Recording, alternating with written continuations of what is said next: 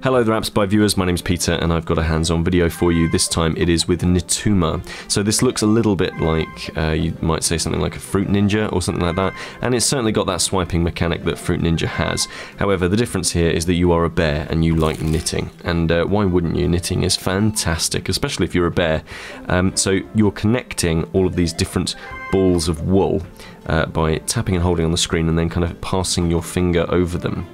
And the more of these balls of wool that you can get, uh, the higher the score that you'll actually you, that you'll get. You also need to stop things like moths getting to your basket, so you just tap them and they and they uh, they wither and die. Um, you uh, you need to watch out for uh, nails that might hit the board or uh, that uh, that might kind of snag your line. You want to watch out for scissors and uh, small little hands of cats uh, uh, coming in and sort of breaking the uh, breaking the line.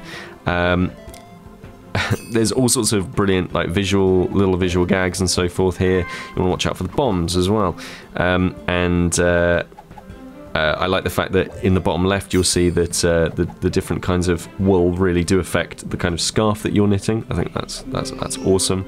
So we'll add those and obviously the, the, the colours will change up and I think that's kind of cool. So now we need to watch out for this nail uh, because any uh, anything that we go past will uh, absolutely um, kind of snag on that and that, that's not good. So we can, you know, obviously we can hit those nails instead.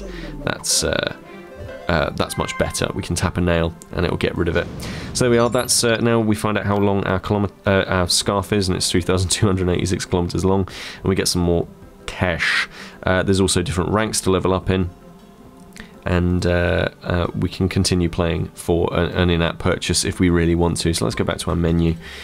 And what else is there in here? Well, in Knituma, there's also this little egg, and it's a little tapping game, and you keep tapping and tapping and tapping and uh, eventually I'm sure we'll find out what's inside. I've tapped it 2060 times now and I'm not going to waste the rest of this video trying to figure out what's in there. So there's a, ni a nice little um, sense of humour to everything, lots of uh, Game Center leaderboards and achievements and so on to, uh, to, to, to, to get hold of.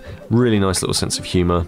Um, gameplay that you've kind of played most of before, but you know, it's done really well here and if you are going to steal, you may as well steal from the best uh, and you may as well steal effectively, and it, it certainly does do that as well.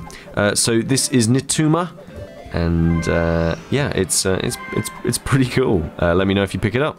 This is Peter with AppSpy.com. We review, you decide.